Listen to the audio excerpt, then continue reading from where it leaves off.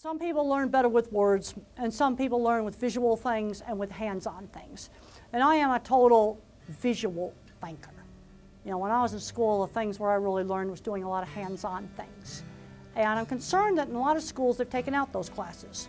Recently I was just uh, traveling on a trip and found out that one school system in another state put hands-on things back in. The thing about doing all kinds of hands-on activities is they teach practical problem solving. You know, you just do the verbal way, it get too abstract.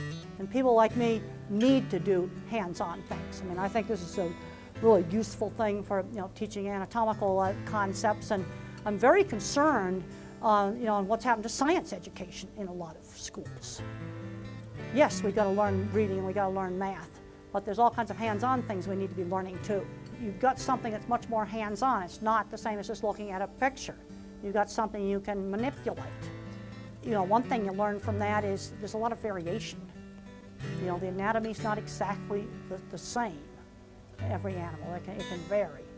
You need to have hands-on learning.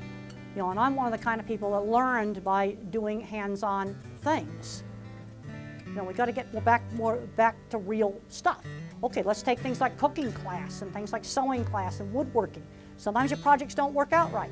You got to figure out how to do it teaches practical problem solving.